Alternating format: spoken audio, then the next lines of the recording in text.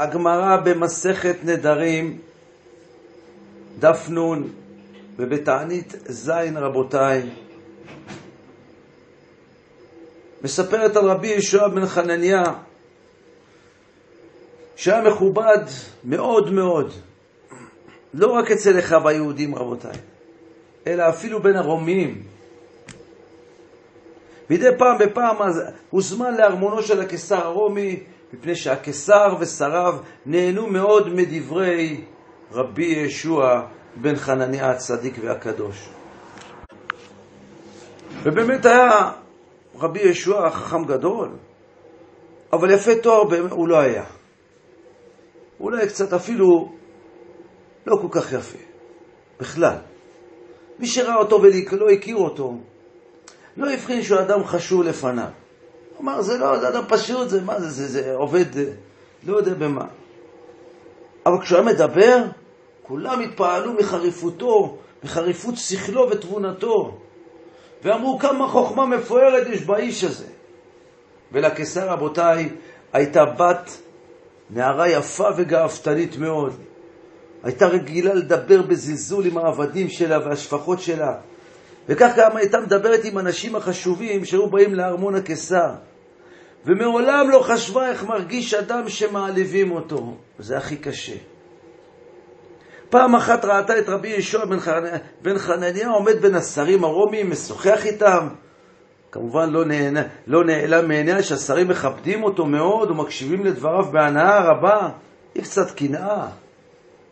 איך יכול להיות שכולם שומעים לאדם הזה שהוא לא כל כך יפה?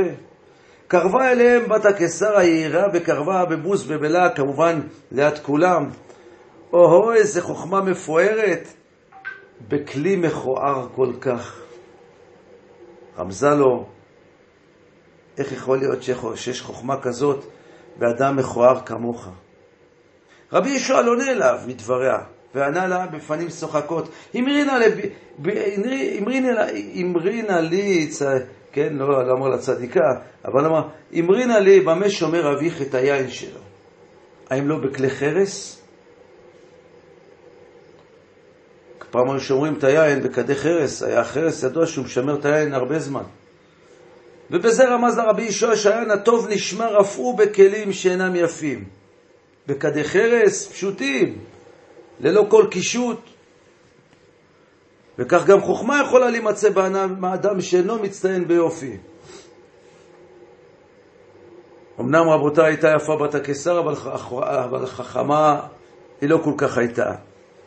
ולא הבינה בכלל את הרמז שרבי ישוע רמז לה, והתפלאה על שאלתו שנראתה לה כל כך מוזרה וענתה בתמיהה.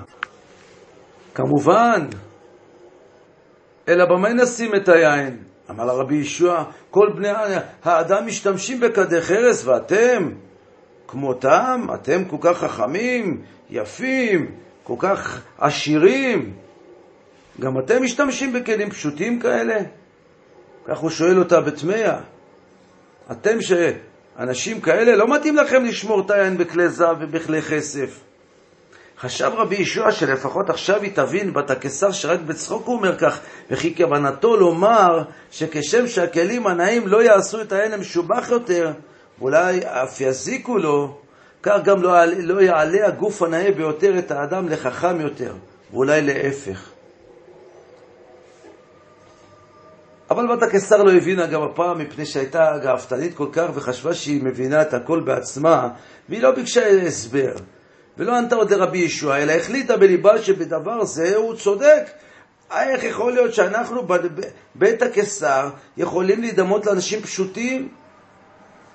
ונהל הקיסר להתפאר בכלים יקרים אפילו במרתף היין, להיות מובדלים מכל עמי הארץ. הלכה אל אביה והתלוננה, אבא, מדוע אנחנו מחזיקים את היין שלנו בכדי חרס פשוטים ומכוערים כמו כל עמי הארץ?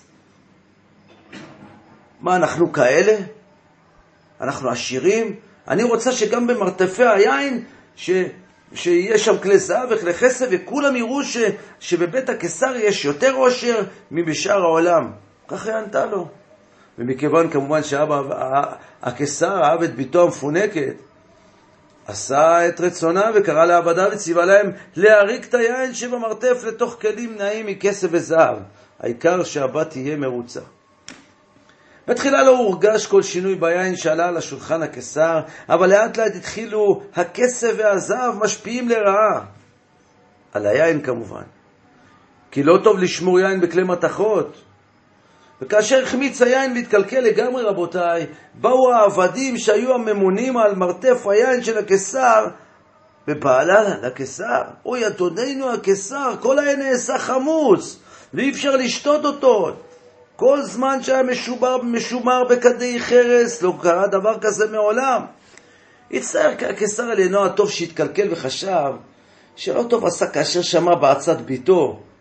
אבל ערער, מניין לה בא הרעיון, היא לא כזאת חכמה? מה, איך זה הגיע לדבר? בחיים היא לא מדברת על דברים כאלה. רק על אה, שיער, ואיך לעשות פן, ואיך לעשות אה, רימלים, ומלים, אני יודע מה, וכל מיני... קרא הקיסר לביתו ואמר לה בפנים זועפות, עשיתי כבקשתך וציוויתי לשמור את היין בכלי כסף וכלי זהב, ותדעי לך שהוא החמיץ כולו. מי זה שאמר לך שטוב לעשות כך? ענתה הבת בכעס, מי? רבי ישוע בן חנניה. הלא כולכם חושבים אותו לחכם כל כך? הוא זה שאמר לי שאנשים חשובים כמונו, לא נאה להם לשמור את העין בכלים פשוטים. יראה רק כשרה אם ייתכן שרבי ישוע חכם, רבי ישוע בן חכניה, כן, רבי ישוע בן חנניה, שהיה כזה חכם, יגיד דבר כזה? עצה כזו שלא טובה? מה, הוא יעשה את זה בזדון אליי? הרי הוא יודע שהוא יענש עונש קשה. ציווה הקיסר לקרוא לרבי ישוע בן חנניה, וכשבא לפניו שאל, שאל אותו בחומרה, תגיד לי, למה יעצת לביתי להחליף את כדי החרס שבהם שמרו את היין בכלי כסף וכלי זהב? ענה רבי ישוע, כפי שאמרתי לה, כך, כפי שאמרה לי, כך אמרתי לה. אני הייתי בין השרים, מדבר, והיא באה והעליבה אותי, ואמרה לי, מה לחוכמה מפוארת בכלי מכוער כמוך?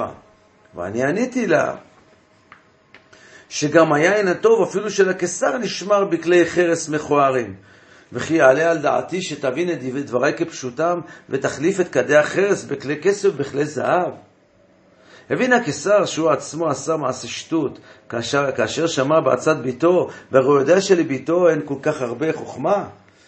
וגם מצטער לשמוע שביתו התנהגה בגסות כזאת כלפי רבי ישוע בן חנניה, שהיה חכם ומכובד, ולכן לא כעס על רבי ישוע ולא העניש אותו, אבל גם לא רצה להודות בפניו שביתו לא צדקה וערער מעט ואמר, אבל יש הרבה אנשים יפים, שבכל זאת גם חכמים, וסימן שאפשר להיות נאה וגם חכם. השיב רבי ישוע, תדע לך, כבוד הקיסר, אם לא היו נעים, הם היו חכמים עוד יותר. כי הם לא היו שמים ליופי ולא היו מתגנדרים כל היום, אלא היו משתמשים בכל כוחם ובכל זמנם ללמוד ולהוסיף חוכמה ודעת. הקיסר כמובן לא היה טיפש והבין שיש כאן רמז לביתו, שיופייה גדול מחוכמתה. כאן רמז רבי ישוע שאין לה כל כך... וחשב שמותר לא לדבר עוד בעניין זה. נתן לרבי ישוע סימן שהשיחה נסתיימה הוא פטר אותו לשלום. רבותיי, בסייעתא דשמיא מחר, אנחנו אה, לא הספקנו היום לעשות יונה, אה, מחר בסייעתא דשמיא אנחנו נתחיל יונה בשעה עשר בבוקר, אה, ואז זה הדרך, אתמול היה לנו כל מיני בלת"מים, ואז זה הדרך, וחזק וברוך לכולם. יום טוב.